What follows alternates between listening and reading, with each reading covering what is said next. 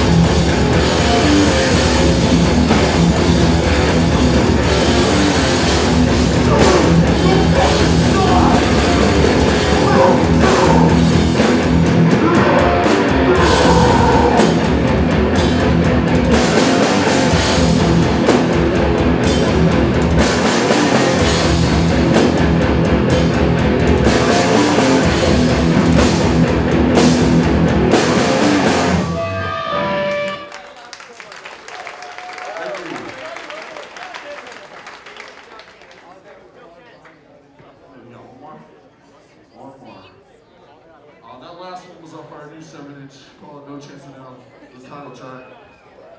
It's coming out on 86 Records. We got fun on tour. Alright, we got one left, sell for demo. It's called Nothing Like You. Let's fucking do it.